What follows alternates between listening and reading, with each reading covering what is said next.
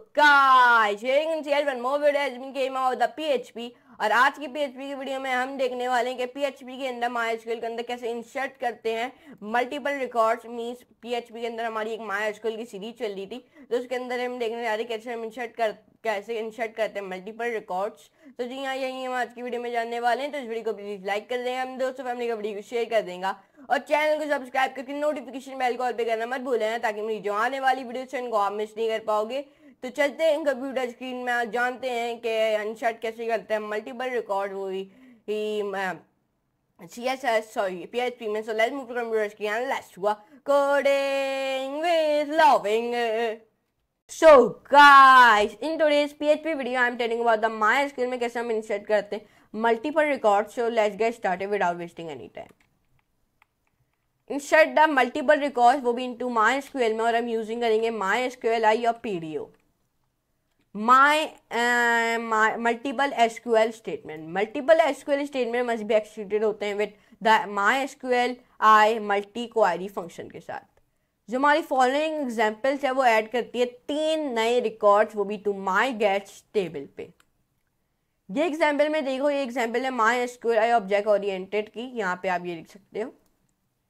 ये एग्ज़ाम्पल को मैंने आपको अपनी प्रीवियस वीडियो में भी रन करके दिखाया था, लेकिन हम वापस रन करके आपको दिखा देते हैं, ताकि जिनने मेरी प्रीवियस वीडियो देखी, उनको ज़्यादा कोई मसले ना आया वो आराम से समझ लें।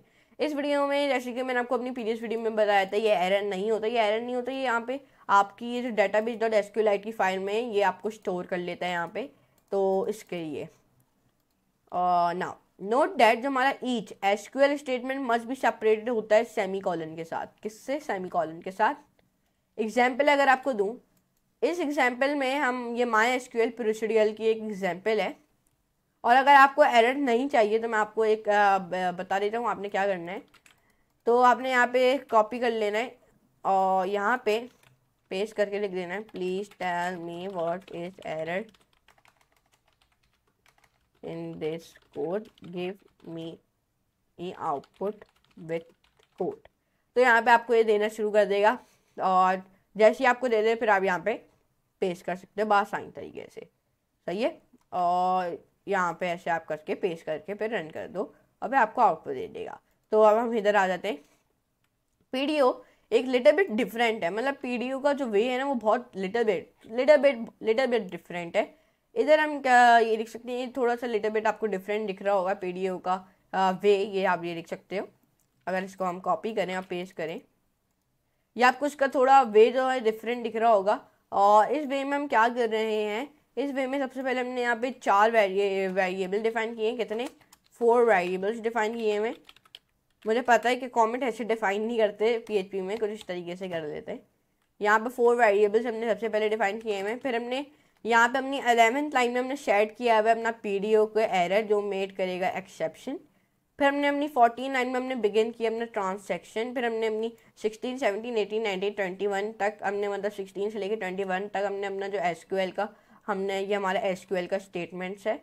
और फिर और फिर हमने यहाँ पे twenty four twenty five twenty six twenty seven twenty eight twenty nine और थर्टी और थर्टी वन तक थर्टी टू लाइन तक हमने कमिट किया हुआ हमने ट्रांसैक्शन को।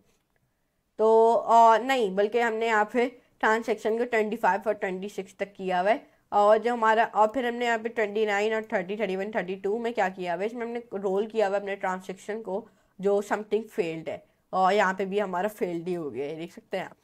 और ये लेकिन ये डाटा बेस में स्टोर हो गया है। तो ये देखा आपने। तो मैं उम्मीद करता हूँ आपको आज की वीडियो ज़रूर पसंद आई होगी, जिसमें हमने जाने के पी एच में माई एस में कैसे हम इंसर्ट करते हैं मल्टीपल रिकॉर्ड्स को। तो हम उम्मीद करता हूँ आपको आज की वीडियो ज़रूर पसंद आई होगी। अगर पसंद आए वीडियो को प्लीज़ लाइक करें दोस्तों फैमिली का वीडियो को शेयर करें।